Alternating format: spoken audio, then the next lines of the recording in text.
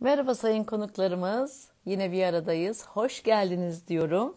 Ama bekliyorum daha şu anda kimse yok ama eminim her zamanki takipçilerimiz, yeni takipçilerimiz. Filiz Hocam hoş geldiniz. Hemen sizi yayına alıyorum. Arkadaşlarımız da geliyor. Evet Hande Hocam da geldi. Hocam gör canlı yayın isteğini. Evet Figen Hocam katıldı. Burcu Hocam. Hoş geldiniz Filiz Hocam. Nasılsınız? Hoş buldum hocam. Sağ olun. Siz de iyisiniz. Teşekkür ederim. Çok sağ olun. Evet, yeniden Kadınlar Gününüz kutlu olsun. Güzel bir günde bizimlesiniz. Çok teşekkür ediyorum. Sizin de Kadınlar Gününüz kutlu olsun. Benim için Çok de çok anlamlı oldu böyle bir etkinlikte yer almak. Çok çok teşekkür ederim. teşekkürler. Biz e, Serap'la e, böyle bir etkinlik yapmaya karar verdik. Dedik ki kim olabilir? Çok değerli kadın uzaktan eğitimcilerimiz var. Hepsi birbirinden değerli. Şimdi hiç kimsenin de e, hakkını yememek gerekir. Ama dedim ki son zamanlarda genç bir arkadaşımız var. Böyle canı yürekten, gönülle böyle Don Kişot gibi hani yel değirmenlerine karşı başarı, başarıyla. Çünkü bugün konuşacağız e, teknoloji alanında e, hani biraz erkek hegemonyasının olduğu bir dünyada kendimizi kabul ettirmek e, çok kolay değil. Çok sağ olsunlar saygısızlık etmiyorlar ama hani e, çok da öne geçmemiz de istenmiyor gibi. Ben bilmiyorum öyle algılıyor. Evet, evet hocam maalesef bunu raporlar da söylüyor, destekliyor bu algı, çok yanlış bir algı değil hocam. Yani Değil. e, değil. Bunu konuşacağız. E, ben de hani Evet. bunu bunu kanıtlayan şeylerden de bahsedeceğim. Evet. Maalesef geldiğimiz durum bu böyle. Bunu da açıklayacağız bugün. İnşallah. Evet, konuklarımız geliyor. Hocam yavaş yavaş başlayabiliriz.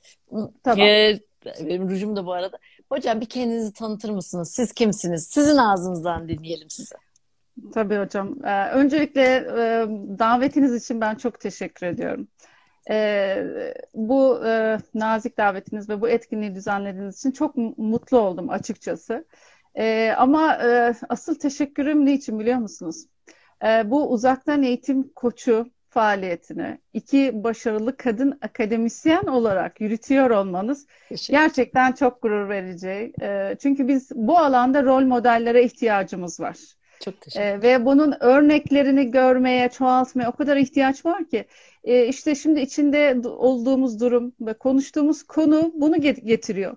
Ee, ve kadınların e, teknolojiyle ilgili alanlarda daha fazla söz sahibi olması için iyi rolle, iyi rol modellerini görmeye ihtiyacı var. O yüzden ben e, iki kadın akademisyenin bu girişimini çok e, başarılı buluyorum ve kutluyorum. Serap hocamı da bu vesileyle tanımış oldum. Şahsen görüşmedik ama e, onu da tebrik ediyorum böyle bir oluşum içerisinde olduğunuz için. Çok İkinci teşekkür. önemli nokta hocam asıl ikinci önemli nokta şu. E, Ben Anadolu Üniversitesi'nin know-how'ını çok önemserim ve e, deneyimi hiç tartışılmaz. Özellikle bu pandemi döneminde tüm kaynaklarınızı açtığınız gibi bu know-how'ı yani çok e, kolay bir şekilde, anlaşılabilir bir şekilde toplumun hizmetine sundunuz. Yani ben bu hızlı içerik üretiminizden dolayı da çok tebrik ediyorum ve dediğim gibi bu e, girişiminiz son derece takdire şayan. E, öncelikle böyle bir teşekkür ederek başlamak istedim. Çok sağ olun. Sizin Evet. görüşleriniz çok değerli. Ee, dediğiniz çok doğru. Şimdi biz Serap'la çok güzel bir senkronizasyon, sinerji yakaladık. Ve Evet. yıllardır böyle bir düşüncemiz var. Fakültemizde gerçekleştiriyorduk. Hatta her cuma böyle bizim e, oturumlarımız vardı. Bir yıl böyle geçti, yapalım mı, yapmayalım mı derken sonra dedik ki ya hadi boş ver biz e, sosyal sorumluluk projesi olsun. Madem açıklık diyoruz, madem demokrasi diyoruz.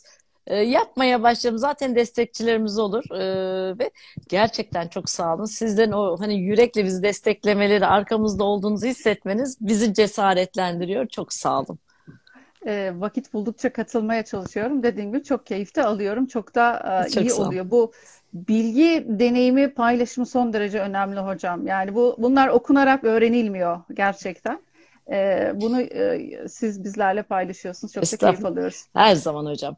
Evet, bugün başlayalım mı yavaş yavaş? Başlayalım, yaşlayalım. Ben kendimi tanıtayım. Ben doçent doktor Filiz Kalelioğlu, Başkent Üniversitesi Eğitim Fakültesi Bilgisayar ve Öğretim Teknolojileri.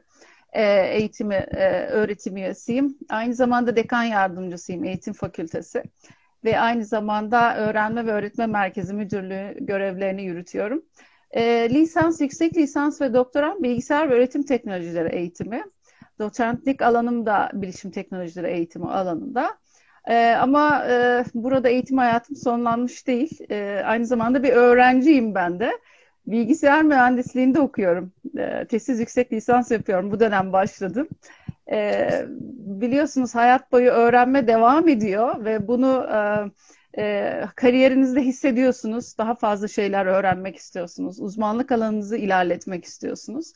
E, böyle bir tercih yaptım. Bakalım. E, umarım başarıyla tamamlarım. Çok sağ olun Mutlaka. hocam. Evet. Evet. Şimdi Evet, hocam, da- baş, hocam siz de hocam. estağfurullah pek çok şapkanız var maşallah diyelim. Ee, Evet. bizim de sizin gibi böyle güçlü ama hani o gücü e, bilgisinden, yaşantısından, karakterinden alan kadınlara gereksinmemiz var. İyi ki varsınız hocam. Sağ olun hocam. Siz de iyi, iyi ki varsınız. Şimdi hocam bugünkü konu aslında tam böyle bıçak sırtı bir konu. Yani böyle teknolojide toplumsal cinsiyet eşitliği dedik. Sizle bu başlığı e, koymayı daha uygun gördük. Şimdi biliyorsunuz dijital çağdayız. Dijital çağın bireyleriyiz. Hem kadınlar hem erkekler bu çağın içerisindeyiz ve aslında dijital geleceğimizi inşa etmeye çalışıyoruz. Hep beraber, bir arada. Ama e, bunun içinde tabii ki e, neye ihtiyaç var? E, dijital becerilerimizi e, geliştirmeye ihtiyacımız var. E, ve e, biliyorsunuz dijital teknolojiler yıkıcı bir şekilde geliyor. E, çok değişerek geliyor ve bunlara da sürekli bir uyum e, içerisinde olmamız gerekiyor. E, hal böyle olunca bakıyorsunuz araştırmalar da şunu söylüyor. Bir arada karma gruplar, çeşitli fikirlerin olduğu ortamlarda, şirketlerde başarıyı yakalayabiliyorsunuz. Daha iyi kararlar verebiliyorsunuz. Çünkü süreci tüm bütün bütünüyle görüyorsunuz. Ama e, hal böyleyken karşınızda e, bir e, sorun e, olarak farklı bir durum geliyor. Nedir bu da? E, işte cinsiyete dayalı bir dijital bölünme. Tam bu e, artılardan bahsederken bir de karşınızda böyle bir durum var maalesef. Şimdi bunun e, toplumsal cinsiyet bölünmesi ya da işte toplumsal cinsiyet e, uçurumu dediğiniz kavram e, üç kaynaktan besleniyor aslında. Yani buna bunun göstergelerine baktığınızda şunu görüyorsunuz. Birincisi teknolojiye erişim. Yani teknolojiye erişim anlamında çok temelde başlangıç noktasındaki e, durum nedir? Yani cinsiyet açısından durum nedir diye bak bakıyorsunuz. İkinci aşama e, dijital okuryazarlık becerileri nasıl e, insanların ve cinsiyet ayrımı burada nasıl e, bir şekilde e, değişiyor. Ve üçüncüsü de tabii ki e, cinsiyetin temsil edilme durumu. Yani hem kadınların hem erkeklerin bu sistem içerisindeki istihdamı aslında. Teknolojideki e, bu e, toplumsal cinsiyeti ifade ettiğinizde karşınıza bu, bu kavramlar çıkıyor. Şimdi bakalım isterseniz yani e, teknolojiye e, erişim noktasında kadınlar ve erkeklerin durumu hem yerelde hem küreselde nasıl oluyor? E, tabii buradaki durum e, aslında şaşırtıcı değil. Kadınlar için şaşırtıcı değil. Yani siz de açılışta söylediniz. Yani çok istenmiyor gibiyiz ama evet çok is, is, istenilmeyen bir durumda aslında. Sonuçlar Evet. da bunu gösteriyor. E, bakıyorsunuz teknolojiye erişim konusunda kadınlar erkeklerden daha dezavantajlı. Yani bu e, 2018 OECD'nin raporu var ve bunu çok açık net bir şekilde görüyorsunuz. 2018 verisinde dahi kadınlar erkeklerden daha dezavantajlı. Mobil cihazlara erişimleri bile e, erkeklerden %26 oranında daha az. E, bu çok ciddi bir rakam aslında. İnternet kullanımına bakıyorsunuz. Şimdi teknolojiye erişim sadece donanım olarak düşünmemek gerekiyor. Aynı zamanda içerisindeki uygulamalar ve internet de son derece önemli. Sayın Hocam bakıyorsunuz internette de aynı şekilde bir fark var. Ve yıllar içerisindeki oranına bakıyorlar. O oran da azalmıyor ve yüzde 11 oranında bir fark var. Şimdi aslında dijital uçurum ya da işte dijital cinsiyet uçurumu ya da bölünmesi diyelim buna e, baş buradan zaten sinyallerini veriyor. Görüyorsunuz teknolojiye erişim konusunda eşit değiliz. Tabii ki bu 2018 verisi ama dünyadaki bir veri. E, Türkiye'ye bakalım. Yani 2020 yılı TÜİK verilerine bakalım. Türkiye İstatistik Verileri e, Kurumu'nun raporuna bakıyorsunuz Sayın Hocam. Orada da şunu görüyorsunuz. ee, bireylerin internet erişiminde toplamda bir artış var. İşte hanelerin internete erişmesinde bir artış var. Bunu görüyorsunuz. Ee, ama cinsiyet olarak kadınların ve erkeklerin internete erişme durumlarına bakıyorsunuz. Sayın hocam erkekler %84.7 gibi bir oranla internete ulaşırken kadınlar %73'te kalıyor. Yani aslında yine arada %11'lik bir fark var. Tıpkı işte e, küreseldeki olan değer gibi bir fark var. E, buradan sinyaller zaten gelmiş oluyor. Biz internete ve teknolojiye eşit olarak erişemiyoruz. E, burada zaten dijital olarak bölünmenin, uçurumun çok e, net bir şekilde ayrımını görüyoruz. Peki e, yani toplumsal cinsiyet e, eşitliğine baktığınızda ikinci diğer gösterge de şey hocam dijital yeterlikler. Özellikle hani bu pandemi nedeniyle herkesin sınav verdiği bir konu oldu bu biliyorsunuz. evet. Yani sadece eğitimciler değil anneler, babalar, veliler e, e, evde sosyal izolasyonda olan insanlar tamamen dijital araçlara bağımlı kaldılar. Yani e, kimileri e, işini, iş yapış şeklini değiştirdi, eğitim alış şeklini değiştirdi, hizmet sunuş şeklini değiştirdi. Yani tamamen tüm sınavımızı bu araçlar üzerinden verdik ve hani bu dönemde ayakta kalmayı belki de bu teknolojilere e, teknolojiler sayesinde e, başarabildik. Bakıyorsunuz hocam dijital okur yazarlık becerileri yine OECD'nin 2018 verilerinde şunu görüyoruz. Dijital okur yazarlık becerileri karşılaştırıldığında Burada da maalesef tablo olumsuz ve kadınlar yine dezavantajlı pozisyonda ve burada da bir dijital beceri açıklığı var. E, ve bu dijital beceri açıklığı e, özellikle e, şöyle ifade ediliyor. E, kadınlar e, erkeklere göre daha düşük performans gösteriyor. Artı özgüvenleri de düşük. Yani bu şu demek. Yani daha az e, dijital araç kullanıyorlar. Daha e, e, az elektronik uygulamalardan yararlanıyorlar ama erkekler bu konuda kendilerine daha fazla güven duyuyor. Yani duysal olarak da o anlamda biraz e, tutuma dayalı da e, orada performans düşüklüğü söz konusu. E, bakıyorsunuz e, kız çocuklarının teknoloji destekli bir meslek tercihlerine bakıyorsunuz. Cinsiyet ayrımı nasıl orada şekilleniyor? Çok net zaten. Kadınlar da yine kız çocukları da e, bu teknoloji destekli bir meslek, meslek yapma tercihlerinde de e, isteksiz olduğunu görüyorsunuz. Kadınlar ve erkekler arasında da yine burada bir fark olduğunu görüyorsunuz. Bunu çok net söyleyebiliriz. E, başka tabii ki ne var? E, özellikle e, kadınların dijital konusu raporu yayınlanıyor. 2020 yılı e, verilerine baktığımızda da burada görüyoruz. Avrupa Birliği'nin yaptığı bir rapor bu. Yani Türkiye evet. e, özelinde de düşünmemek lazım. Orada bunu görüyorsunuz. E, dijital beceri açıkları var ve gerçekten bu dijital beceri açıkları yani performanslarının düşük olması %10 ila 7 arasında değişiyor yıllar açısından baktığınızda. Ee, yani hem teknolojiye erişme noktasında sıkıntılar var, eşitsizlikler var ve aynı zamanda dijital becerileri kullanma, dijital becerilerimizi kullanarak bu ortamda daha iyi e, bir yaşam sürdürme noktasında da e, eşitsizliklerimiz var. Bunu çok net bir şekilde görüyoruz. Peki diğer bir konu Sayın Hocam siz de bilirsiniz istihdam. Yani kadınların teknolojiyle alakalı bir işte çalışma durumları. E, asıl e, uçurum burada zaten oluyor maalesef. E, bunu çok net bir şekilde görüyoruz. E, yani kadın çalışanlar olarak da biliyoruz aslında bunu. Bu 8 Mart dolayısıyla birçok e, kurum ve kuruluştaki kadın erkek sayıları çok fazla konuşulur oldu. Ama ben hani teknoloji özelindeki mesleklere biraz daha böyle eğildim ve hani buna bakayım istedim. Tabii dünyadaki tercihlere bir inceledim önce. 2020 yılı e, meslek tercihleri nasıl değişiyor? E, şunu gördüm hocam, mühendislik, özellikle mühendislikle ilgili e, bir alanda çalışanların kadın e, oranı yüzde on beşte kalmış hocam. Yani düşünün ne kadar az.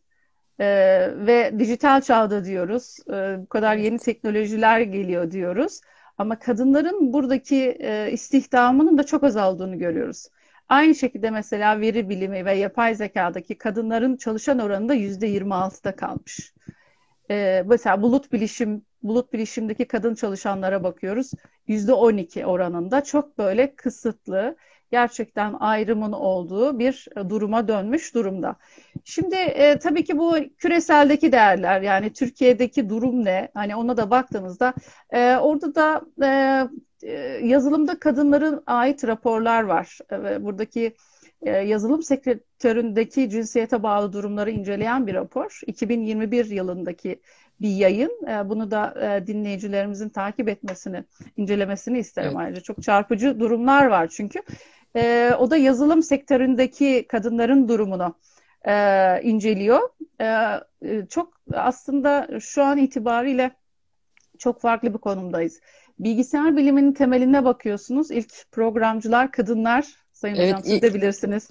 Değil mi? İlk yazılımı gerçekleştiren evet. bir kadın aslında. Evet bir kadın aynen öyle. NASA'ya bakıyorsunuz onun... değil mi? Sözünüzü balla kesiyorum. Lütfen işte hocam. Uzay buyurun. çalışmalarında Ay'a e, aracın gönderilmesinde matematik hesaplamaları, programları yapanlar aslında hepsi ilk hep as basamakta kadınlar. Sonra Aynen. ne oldu bize? Sonra ne oldu gerçekten? Yani e, çok e, e, çok ciddi bir şekilde bir e, e, uçurum oluşmuş yani. Gerçekten ciddi bir uçurum uçurum oluşmuş. E, her 10 yazılımcıdan biri kadın. Yani temsil edilme durumumuz orada da çok zayıf ve %11'lerde kalıyor. E, yani e, hem yerelde hem küreselde baktığınızda aslında kadının teknolojiyle ilgili bir sektörde çalışma e, ve temsil edilme durumu çok zayıf bir konuma gelmiş durumda. E, tabii bunun altında birçok şey de yatıyor. Yani e, bunun en önemli e, faktörlerine bakıyorsunuz. E, cinsiyetçi ayrımların olduğunu görüyorsunuz aslında. Yani rol modeller. Yani burada mesleklere ait tanımlanan aslında e, eril ya da e, dişil özellikler. Yani çok temelde aslında karşınızda ee, böyle bir sınıflamayla kalıyorsunuz maalesef. Geldiğiniz nokta bu oluyor. Yani daha güçlü bir e, figürün daha teknik konularda işte daha duygusal, daha böyle yumuşak başlı e, özelliği olan kişilerin tam tersi bir meslek grubuna kaydığını görüyorsunuz ve bunu destekleyen araştırmalar da var Sayın Hocam biliyorsunuz. Evet. Şimdi e, buradaki eşitsizlik e, o kadar e, fazla ve görünür ki özellikle Dünya Ekonomik Forumu şunu söylüyor. Bu cinsiyet ayrımı e, çok ciddi boyutlara gelmiş durumda. Yani sadece e, Türkiye'de de değil, dünyada da bu böyle. Ve e, özellikle 2020 yılı için e, evet katılımcılarımız da e, kadının evet. dezavantajlı olduğu durumları ifade ediyorlar. E, evet e, yani kadın zaten e, rol ve sorumlulukları gereği zaten çok daha çift var diye çalışan e, diyebileceğimiz Hocam kaç var diye. Pozisyona. Yani yani evet kaç çift var diye diyelim belki de. Evet. E, 2020 yılında hocam eğer hiçbir şey yapılmazsa ve bu şekilde devam ederse cinsiyet ayrımının kapanması için kaç yıl söylüyorlar biliyor musunuz? 100 yıl. 100 yıl. Yani bizim şu an bak pandeminin etkisinden bahsetmiyoruz bile. Yani pandeminin şu an etkisi ne olacak onu bilmiyoruz ama 2020 yılı için söylenen e, şu andaki verilerle ve bu tercihle bu e, süreç devam ederse cinsiyet ayrımının kapanması için 100 yıla daha ihtiyacımız var. Tam 99,5 yıl diyor aslında. Ben hani yuvarlak hesap 100 dedim. E, ve e, iş yerindeki eşit çalışma şartlarının daha fazla bir yıla ihtiyacı olduğunu söylüyorlar. Ve takdir edersiniz ki yani e, konunun başında da ifade ettim. Şimdi dijital çağdayız diyoruz. Çok yeni teknoloji geliyor. Ee, bizler dahi bu teknolojileri kullanmaya e, hazırlanırken daha daha yenisi çıkıyor. Yani o kadar hızlı geliyor. Her şey o kadar hızlı evriliyor ve değişiyorken iş hayatı da diyor ki e, insanların artık daha yeni beceri setlerine ihtiyacı var diyor ve mezun olduğunuzda sahip olduğunuz beceriler size yetmeyecek. Yani ve bunların yüzde 42'sinin en az güncellenmesi gerekecek diyor. Şimdi bakıyorsunuz teknoloji erişimi konusunda dezavantajlı bir gruptan bahsediyoruz. Dijital okuryazarlıkları kıyaslanamayacak kadar kötü durumda e, ve şartlar o kadar acımasız bir şekilde değişiyorken bizim bu açığı kapatmamız için gerçekten çok ciddi çalışmalar yapmamız gerekiyor. Yani her bir kadın belki bundan sorumlu, her bir erkek bundan belki sorumlu. Yani 100 yıldan bahsediyoruz Sayın Hocam. Yani bu 100 yıllı e, düşünün yani ne kadar farklı bir şekilde evriliyor dünya ve değişiyor. Ve bu açığı kapatmak için bizim şu an için 100 yıla ihtiyacımız var. E, tabii pandemi bu dönemi çok daha kötü etkiledi. Yani pandemide kadın e, daha dezavantajlı oldu. Yani siz de biliyorsunuz. E, özellikle e, bu pandemide kadınlar kaç var diye çalıştı.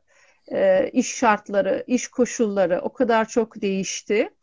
Ve e, Sayın Hocam cinsiyet farkının olmadığı ama ilk defa bu dönem olan e, durum ne biliyor musunuz? İşten çıkarılan kadın sayısı. Yani bu pandemi nedeniyle işten ayrılma yüzdelerinde cinsiyet açısından bir farklılık yokken bu dönemde bunu bunu bunu yaşadı kadınlar. Yani e, yani her alanda temsil edilmediğini düşünüyoruz. Teknolojide zaten çok zayıf te temsil ediliyor. Bir de bu anlamda iş kayıplarını yaşıyor kadınlar. E, ve e, gerçekten dijital becerilerini geliştirme noktasında e, sıkıntıları yaşadılar. E, işlerini evden devam ettirmek durumunda kaldılar. Teknolojiye erişimde zaten sıkıntılar yaşanıyordu. Ve bu ortam bu sorunun daha da belki derinleştirdi. Dijital uçurumun önünü e, belki yani dijital uçurumu daha da derinleştirdi diyebilirim. E, aynı zamanda bu ortamda kız çocukları da çok dezavantajlı oldu. Düşük ve orta gelirli ailelerde. Çünkü orada da cinsiyete yönelik ayrımlar oluştu. E, onlar da anne annelerine yardım etme e, durumlarından dolayı e, kendi e, çalışmalarına vakitlerini ayıramadılar. Teknolojiye zaten kısıtlı eriştiler. Olduğunda bile ya büyüklere ya da erkeklere o teknoloji e, ayrıldı. Yani e, öyle e, üzücü durumlar da aslında insanlar yaşadı. Hani biz e, hiç teknolojiye erişmediğini e, düşündük ve hani o durumu değerlendirdik ama erişenler arasında bile teknoloji tercihleri yüzünden cinsiyet ayrımlarının, ayrımcılığının olduğunu gördük ve tabii ki işin mali boyutu da var. Yani var olması durumunda dahi tabii ki bu burası e, e, bu ortamın bir maliyeti var. Bu maliyetlerden dolayı kız çocukları o anlamda aslında dezavantajlı gruplar arasında tekrar yer aldı. Yani Sayın Hocam aslında baktığınızda toplumsal cinsiyet eşitliğinde, teknolojiye erişim, e, bu ortamı e, kullanacak temel becerilere sahip olma ve bu ortamda kadın olarak istihdam edilme durumu tüm üç değişken içinde gerçekten içler acısı bir durumda ve bu anlamda e, uçurum çok net ve çok derin. Pandemi de bunu aslında besledi diyebiliriz. Yani çok temelde böyle ifade edebilirim. Evet şimdi böyle söyleyince gerçekten hani ne yapacağımızı bilmez durumda gibiyiz ama yapılacak aslında çok da güzel etkinlikler var. Mesela benim hemen aklıma gelen TÜBİTAK'ın bence özel çağrıları çıkması gerekir. Yani Tabii. E, özellikle kız çocuklarını, e, kadınları destekleyecek, özellikle teknoloji, mühendislik, fen alanlarında destekleyecek projelere, özel çağrıları mutlaka hemen çıkması gerekiyor. Stratejilerin Hı-hı. yeniden Hı-hı. gözden geçirilmesi. Mesela Kesinlikle. YÖK'ün, milli eğitimin özel e, hani belki yine çağrılarla e, yapılanmayı iyileştirilmesi ve e, anne babaları çevreyi bilgilendirmesi, bilinçlendirmesi gerekiyor. E, bunlar e, yapılması gerekenler. Dediğiniz gibi 100 yıl e, bu koşullarda yüzyıl ama e, sizin o dediğiniz verileri incelediğimizde bu yüzyıl daha sonra 101, 102 diye artacak belki aylar geçerken buna bakmamız lazım. Bir kere başlangıçta zaten çok ciddi e, eşitsizlikler var. Toplum da bunu destekliyor. Şimdi Tabii. bir de şuna bakalım hocam. Çalışmaya başlıyorsunuz hasbel kadar ya da bir şekilde kendinize yer buluyorsunuz ama işte orada barınmanız, orada tutunmanız, orada kendinizi göstermeniz ya da ifade edebilmeniz de ne yazık ki çok kolay değil. Ee, şimdi erkek dünyasında lütfen erkek meslektaşlarımız alınmasın. Onlar belki farkında olmadan yapıyorlar. Tabii üniversitelerde evet. bizim durumumuz çok daha rahat ama başka ortamlara baktığımız zaman işte mesela mühendis olan kadınlar var ya da işçi kadınlar var e, ya da işte Tabii. ara iş gücü olarak çalışan kadınlar Tabii. var.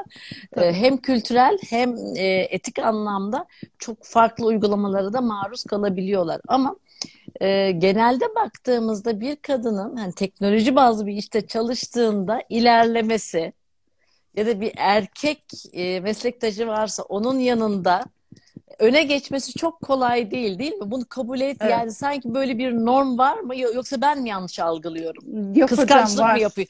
Kıskançlık mı yapıyorum yoksa? Yok hocam var. Yani e, e, belirli meslek gruplarında zaten cinsiyet ayrımını da görüyorsunuz. Yani hem tercihleri de görüyorsunuz ama aynı aynı e, alanda çalıştığınızda da e, yönetici pozisyona geçme olasılığınız daha az. Yani bunu doğrulayan araştırmalar var. Yani bu net ve e, maaş maaş özel sektörde baktığınızda aynı e, sektörde çalışan kadınla erkek aynı maaşı almıyor. Yani yani maaş farkınız bile oluyor. Bir de dediğiniz gibi yani e, bu, bu bunlar e, yani e, karşı taraftan da belki e, onların dediğiniz gibi farklı uygulamalarıyla da destekleniyor olabiliyor. Yani çünkü gerçekten e, bu anlamdaki sektör e, bazen çok acımasız olabiliyor ve oradaki tavırlar e, sizin e, sizin içinde olduğunuz durumu kabullenemeyebiliyorlar ve e, kadınlar o anlamda yarışa hem geriden başlıyorlar hem de ilerlemek için de e, çaba gösterse dahi engelleniyorlar. Yani bu e, dediğiniz gibi e, farklı uygulamalar olabiliyor. İşte maaş iyileştirme, teşvik anlamında olabiliyor.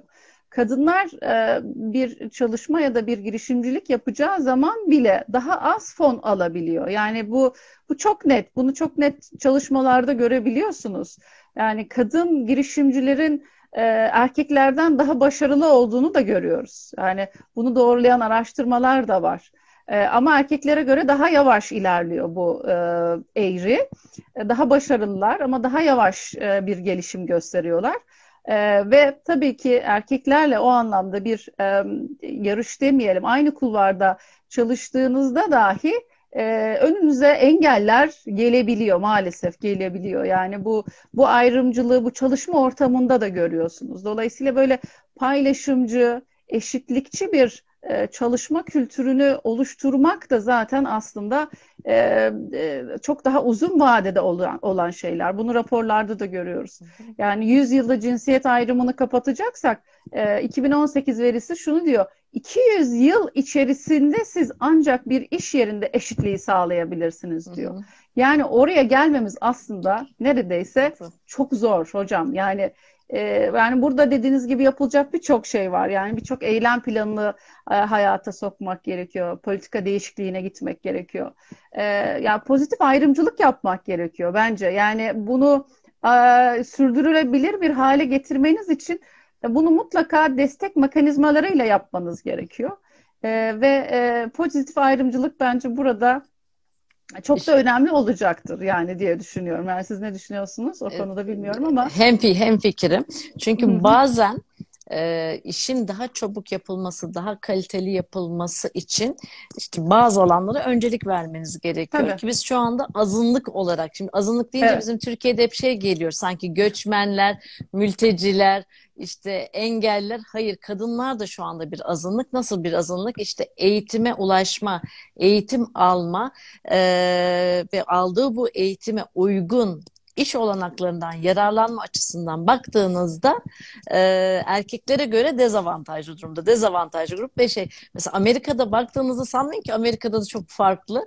E, Amerika'da özellikle azınlık olarak yayınlanır ve işe başvurduğunuzda hani böyle bir avantajınız olur. Çünkü azınlık işe alınmalı diye bir e, yasaları vardır onların. Hani oradan e, sıyrılıp o işe girme şansınız olabilir. Doktor olarak ya da mühendis olarak ya da insan gücü olarak. Yine Amerika'daki uygulamalardan özellikle söylüyorum. Zannetmeyin ki oralarda da içler böyle çok e, e, iç acı. e, mesela aynı işi yapan erkek ve kadına baktığınızda erkek daha fazla maaş alır. Filmlere bakın. Aynen. Film bakın bunu evet. en çok filmlerde görürseniz erkek oyuncuların aldığı ücrete bakın, kadın oyuncuların aldığı ücrete bakın. Ee, yani Batı dünyasında da bu ayrım son derece belirgin. Ee, evet. Ama ne yazık ki yıllar e, olarak baktığınızda bu uçurum daha da arttı.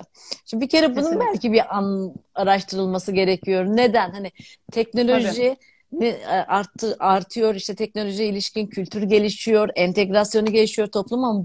Bunlar gerçekleşirken kadının iş hayatında özellikle teknoloji bağlamındaki iş hayatında e, yer almasına baktığımızda ters bir orantı var. Korelasyon tersine eksi bir yönde gelişiyor. Aynen. Bunun Aynen. mutlaka bu dediğiniz gibi eylem planı olarak araştırılması her bir alan için e, şeylerin oluşturulması o politikaların ve gerçekten inanılması bir kere gerekiyor. Yani kağıt üstünde de kalmaması lazım. Baktığınız zaman bizim yasalarımızda her şey çok düzgün. Aslında Tabii. eksik olan bir şey yok. Evet, e, teknoloji erkeklerin çok da gö e, göründüğü bir alan. Ancak aynı erkekler bir bulaşık ya da çamaşır makinesi doğru. Evet. Ma evet. bu nasıl? Evet değil mi? Ee, program yazıyor ama e, bulaşık makinesini çalıştırmıyor. Mesela benim e, rahmetli babam öyleydi. Hani annem sonuçta diyordu ki ellemese daha iyi çünkü evde felaket oluyordu yardım etmeye kalktığında. Hani ben de diyordum bilerek mi öyle yapıyor acaba? Hani aman ellemesin diye. Şimdi bir de hocam şu da var. Bir de şu tarafa bakalım. Biraz da kendimize çuvaldızı batıralım. Başladık Batıralım. diyelim. Çalışıyoruz. Ama iş hayatında biz kadınlar birbirimize ne kadar sahip çıkıyoruz hocam? Şimdi bence Kesinlikle. bu da çok büyük bir sorun. Mesela baktığınız zaman e, rekabete, acımasızlığa e, ya da yaralamalara e, belki çok acı olacak ama arkadan bıçaklamalara her alan için söylüyorum. Sanki kadın kadına kırdırılıyor mu? Böyle de bir durum var gibi. Evet, evet. Yani e, e onu çok onu çok yaşadığınız alanlarda var. Hissediyorsunuz Sayın Hocam. Yani e, burada şeyi düşünüyorsunuz. E, aslında ben de kadınım, o da kadın. Bir arada daha güçlü olabiliriz. Sesimizi daha yüksek çıkarabiliriz. işbirliği yapabiliriz diyoruz diyorsunuz. Ama gerçekten orada başka şeyler devreye giriyor. E, yarışlar başlıyor. E, kendini göstermeler başlıyor ee, ve hani burada e, e gizli bazı ba- başka şeyler e, dönüyor. Yani dedikodular dönüyor. E, ve hani bu basit bazı şeylerden dolayı e, o birlikteliği, o uyumu göremiyorsunuz. E, ha ama halbuki şu şu çok daha e, belki mantıklı olacak. Yani kadınlar bir arada daha güçlü olacak şekilde ve her alanda kendilerini, seslerini duyurabilecek şekilde bir pozisyona e, gelebilirlerken maalesef e, birbirlerine de böyle olumsuz durumlarla e, o desteği göstermiyorlar. Burada zaten kadın azınlıkta. Bir de kendi içlerindeki bu olumsuz durum bu süreci biraz daha perçinliyor aslında. Burada çalışma kültürü olarak yani hem kadınların hem de erkeklerin bir arada aslında uyum içerisinde, işbirliği içerisinde bir çalışma e, e, düzenini oluşturması gerekiyor. Yani bunu işverenin de aslında e, düzenlemesi gerekiyor, takip etmesi gerekiyor. Ama maalesef burada kişilikler devreye giriyor. İşte bu cinsiyet kalıpları devreye giriyor. Toplumun bu norm dediğimiz e, işte değer yargıları devreye giriyor ve e, kadın e, zaten e, eksi bir olarak başladığı bu süreçte daha da eksi alarak, yaralanarak e, bu süreçte devam ediyor ve tabii ki o mücadeleci ruhunu kaybediyor. Yani şimdi gör, yani hep e, cinsiyet eşitliğine yönelik işte başarılar çok yavaş geliyor. Ama mutlaka devam etmeli diyoruz.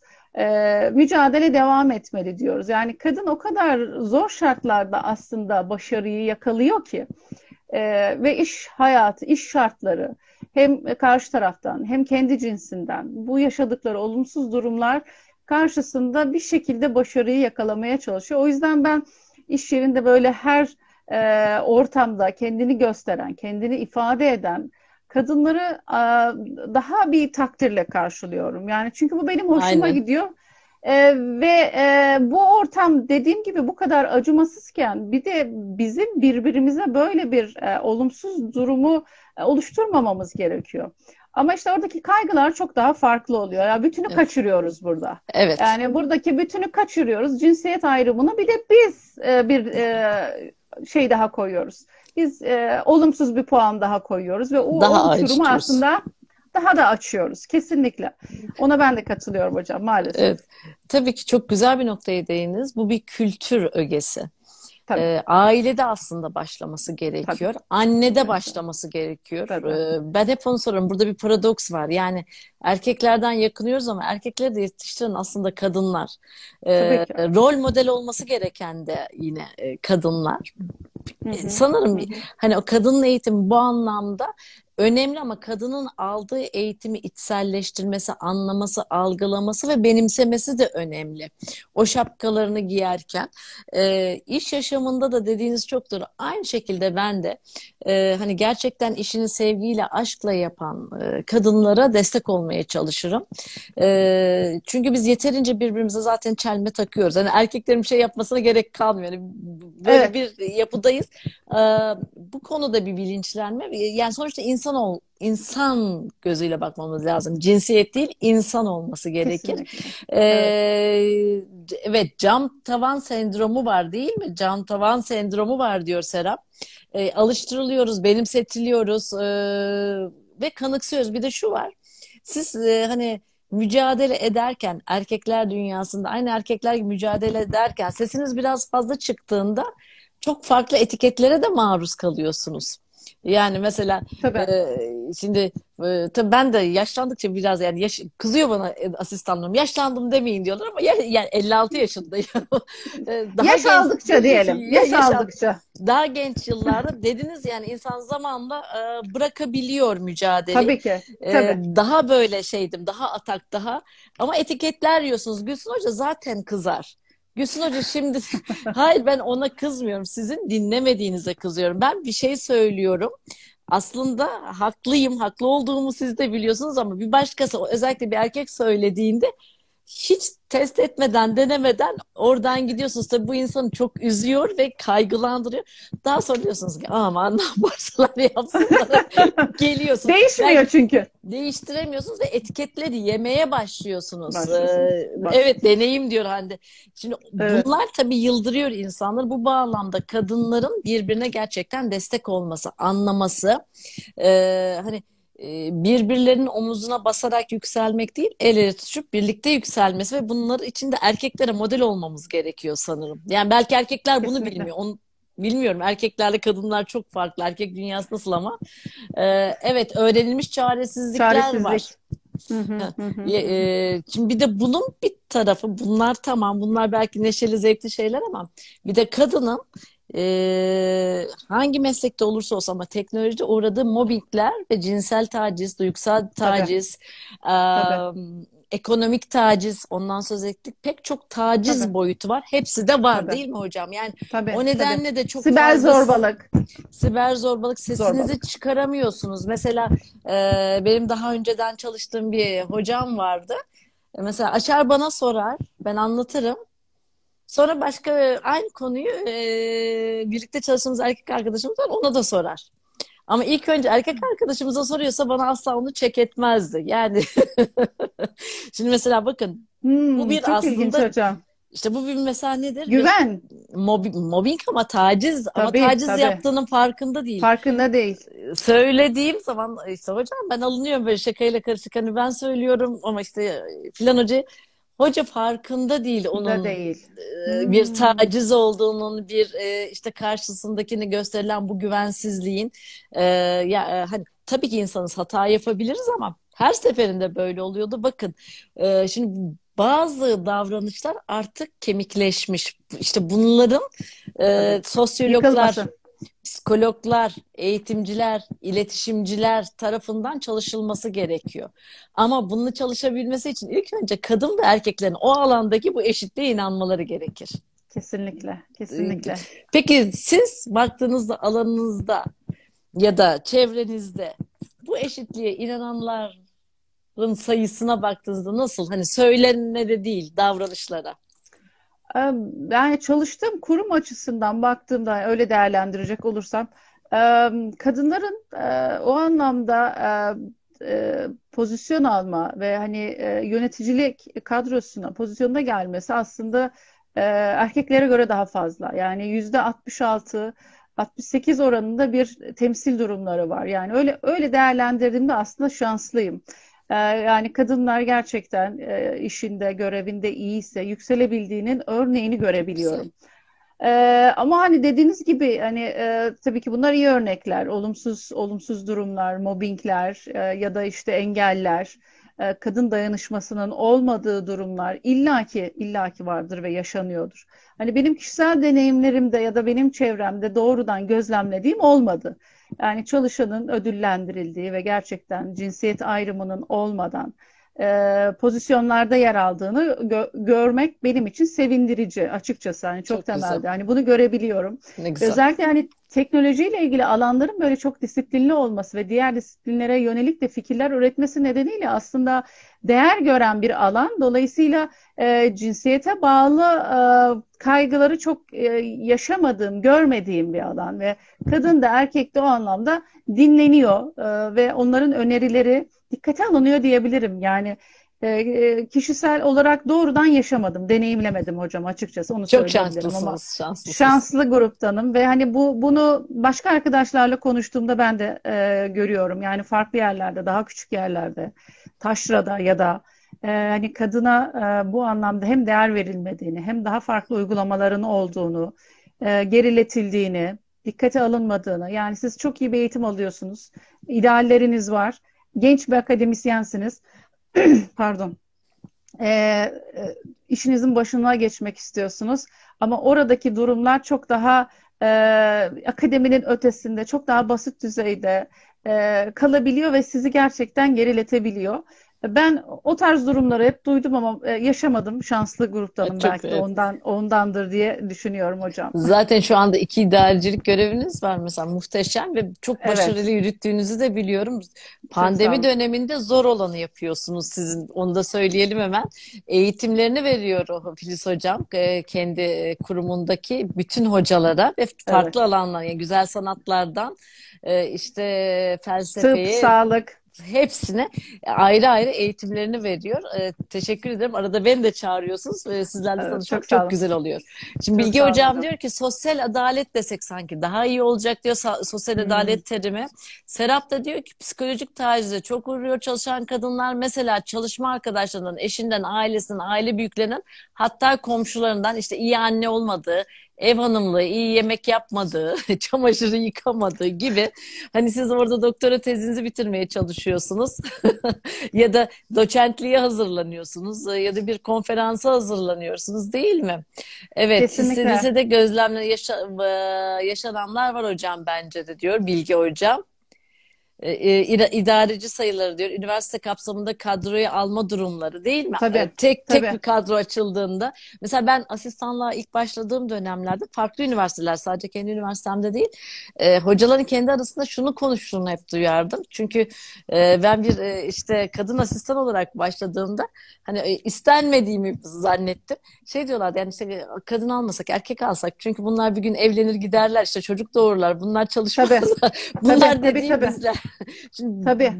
Bu, bu düşünceler sanki çok da değişmedi mi? Ne oldu hocam? Hocam değişmedi. Yani bunun evet e, çok önemli bir yere de e, e, parmak bastınız bence. E, bunu bunu akademik e, hayatta maalesef kadınlar bunu görüyor. Yani e, özellikle yeni asistanlara e, arkadaşlardan hep duyduk. Hani biz ben dediğim gibi yaşamadım ama duyduğum ve bildiklerimle de e, ama bu gerçeği örtemiyorum. Bunun olduğunu biliyorum. E, asistanlara e, özellikle işte e, evlenmeyin ya da işte bebek e, planlamayın gibi e, baskıların olduğunu biliyorum hocam. Ya da dediğiniz gibi tercih ederken e, bebekleri olabilir. İşte kadınların daha e, zor şartlarda olmasından dolayı o görevi yerine getirmede sorunlar yaşayabileceğini bildikleri için erkeklerin tercih edilme durumu maalesef e, söz konusu oluyor. Yani kadınlar evet. daha fazla izin kullanıyor, daha e, farklı mesailerde, e, farklı sorumluluklarda oluyorlar. Çünkü performanslarını etkileyecekleri düşüncesiyle maalesef böyle durumlarla karşılaşıyorlar. Bu da aslında çok üzücü bir durum kesinlikle. Bilgi hocam diyor ki e, evet. aynı zamanda diyor doktor olduğunuz erkek arkadaşlarınız çünkü neden çabuk doçent oluyor Bilgi hocam? Ee, erkek arkadaşlarımız lütfen alınmasınlar ama durum böyle. Odasına çekiliyor. Eşi yemeğini Tabii. yapıyor. Çalışsa da çamaşırını yıkıyor. Ütüsünü yapıyor. Erkek Tabii. arkadaşlarımız oturuyor sadece yazıyor. Yani mesela Bilgi hocamın iki tane e, pırlanta gibi çocuğu var. E, Maşallah. Bir tanesi yeni şimdi. E, bir yandan doçent olmaya çalışıyor ki aldı doçentliğini ama şimdi sizinle öbür arkadaş arasında tabii ki e, çalışma eşitliği arasından dağlar kadar fark var ama şimdi ben şunu da söyleyeceğim Filiz Hocam.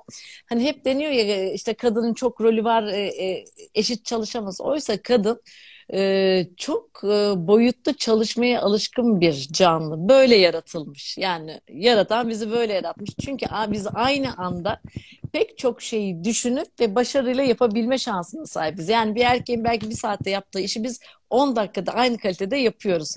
Aslında bunu gör, görülmesi gerekiyor belki. Hani bir saat onlar kadar çalışmamız gerekmiyor. Biz 10 dakikada da bitirebiliyoruz. Kesinlikle hocam. Yani ben yani ben de e, kendimi o örnekler arasında sayabiliyorum. e, çünkü dediğiniz gibi yani benim de farklı şapkalarım var. E, ben de e, yoğun bir tempo içerisinde kendime yeni işler icat edip hiçbir şeye hayır diyemeden e, çalışma e, eğrim sürekli artarak devam edebiliyor. E, bu tempodan da e, tabii ki çok yoruluyorum yani e, onu e, itiraf edeyim yoruluyorum. E, ama çok da zevk alıyorum. Çok keyifli bir keyifli bir şekilde de bunları yürütebiliyorum. Benim de hani belki hani burada belki hani herkes çok samimi bir şekilde söylediği için benim de iki tane çocuğum var. Allah Biri, başlasın. Sağ olun. E, iki yaşında tam Ay, böyle terör Terrible Two'yu yaşıyoruz. Biri büyüdü biraz daha kendini e, kurtardı diyebileceğimiz yaşa geldi. E, ben de o şekilde akademide var olmaya çalışıyorum. E, ve e, sorumluluklarımı yap, yapmaya çalışıyorum. İş sorumluluğumu, akademik sorumluluğumu, araştırmacı kimliğimi e, taşıyarak ben de bu ortamda bir kadın akademisyen olarak ama teknoloji eğitimiyle ilgilenen biri de e, olduğumu övünerek söylemek istiyorum. Ama Hocam, tabii ki burada hiç destekleyenler var. Lütfen mütevazı. Gülbahar Hocam da geldi mi? Yasemin Hocam Yasemin geldi. Hocam. Biz bugün beraberdik evet. sağ olsun. Yalnız bırakmadı. Evet. Yasemin Hocam hoş, hoş geldiniz. Hocam. Ee, evet. Hocam şimdi şöyle bir şey lütfen mütevazi davranmayın. Ee, o çünkü bunları niye yapıyorsunuz? İşinizi aşkla yapıyorsunuz. Aşkla Tabii. yaptığınız için de e, evet. e, şimdi bizi öğrenme aşkı hele çok farklı bir şeydir. Hiçbir şeyden vazgeçemiyorsunuz. O yüzden hayır diyemiyorsunuz. Öyle bir açlık var ki bir şeye evet. başladıkça daha da başka bir şey. Çünkü hiçbir şey bilmediğinizin gerçekten farkındasınız. O sizin mesleğinize, işinize verdiğiniz ciddiyet ve önemden kaynaklanıyor. Figen hocam ne diyor? Evet yükle biliyorum. Yarın sabah da benim dersime konuk olacak. Oo ne güzel. Evet. Maşallah. Evet. Ee, Figen hocamız da e, PDR alanında profesör. Ee, ben tanıyorum yarın, Figen hocamı. Tanırsın, tanırsınız, tanışırsınızdır. Ee, yarın e, psikolojik danışma ve rehberlik öğrencilerini konuşacağız. Açık ve uzaktan öğrenme konusunda paylaşım yapacağız. Sağ olsun beni evet. davet ettiler. İnşallah. Ben de öğrencileriyle buluşacağım. E, Feryal Hanım gelmiş. E, eşimin e, iş yerinden arkadaşı. Çok teşekkür ediyorum. Sağ olsunlar. Bugün, ne güzel. E, öğrenmişler, katılmak istemişler. Evet hocam. Evet, evet. Rol model olmak gerçekten çok önemli. Evet. Sadece sözlerle değil, hani derler ya aynısı iştir kişinin, lafa bakılmaz. Ee, söylediklerinizin ne kadar arkasındasınız ya da söylediklerinizle yaptıklarınız birbiriyle hani derler ya ne kadar uyuşuyor. Hocanın yaptığını yap, yap söylediğini yapma pozisyonu olmaması gerekir. Evet, ee, evet. O nedenle siz e, hani iyi rol modeli olma alanına katkı sağlama açısından gerçekten e, önemli isimlerden birisiniz. Genç arkadaşlarımızdan birisiniz. O yüzden biz düşündük hatta Yasemin Hocam burada arkasından Yasemin Hoca'yı mı çağıralım, Filiz Hoca'yı mı çağıralım? E, biz bayağı bir, birkaç hoca ismi daha var. Dedim ki e, Filiz Hoca'yı çağıralım. E, genç bir akademisyen. E, onurlu bir hani e, duruşu var. Çok seviyorum Çok ben onun duruşunu. E, gelsin bizleri gençlere de hem örnek olsun diye. Bunlar e, güzel örnekler. İnşallah bu güzel örnekler e, sizlerle birlikte, sizin yetiştirdiğiniz e, öğrenenlerle birlikte de gelişecek hocam. Evet Kesinlikle bu arada sorusu hocam. olan da varsa biz bekliyoruz. Ee, Bilgi hocam bu arada demiş ki bana beni asistanla alırken e, ne sormuşlardı? Çocuk sahibi olacak mısınız ya da evlenecek misiniz diye sormuşlar. Evet. Ha gerçi ben de Evet. şöyle doktorantlarıma şunu diyorum. Allah aşkına medeni e, şeyinizi değiştirmeye kalkmayın. Hani çocuk çünkü şey biz bir de Türk insanı olarak Türkiye'de çok duygusalız. Bakın diyorum. Duygu duygu durum durumunuzu değiştirmeyecekseniz tamam. Ondan sonra gelip bana ağlamayın Allah aşkına. Bir de bizim öyle bir yanımız duygusal yanımız da var. Tabii işin Evet, şakası. Tabii Evet. ki, tabii ki hocam. Filiz hocama e, var mı sormak istedikleriniz? Bugün zaten pek çok e, toplantıya da katıldı. Bakın yarın da katılacakmış. Daha fazla yormayalım hocamızı. Biz yine konuk edeceğiz. E, Evet, Yasemin e, hocamı da konuk edeceğiz. Bizim e, Serap'la başka planlamalarımız var. E, o, gru, o, o bağlamda sizleri biz konuk edeceğiz. E, karnım burnumda test Bunda savunması. test savunması yapmış.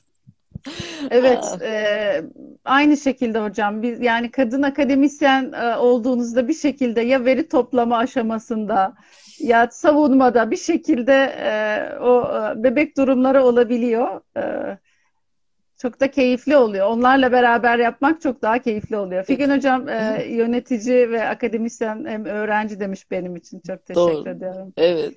Benim E, de ve- tez öğrencim gelmiş, rol modelsiniz demiş. Ezgi Evet. gelmiş hocam. Onu Ne güzel. görüyorum. Evet, Maşallah. Ee, Benim, benim çocuğum olmadı ama e, yani yok benim çocuğum. Benim annem vardı. Herkes bilir. evet, hocam. Benim Yani o da çok ben- çok önemli önemli bir sü- süreçte. siz Çünkü benim kardeş- oldunuz.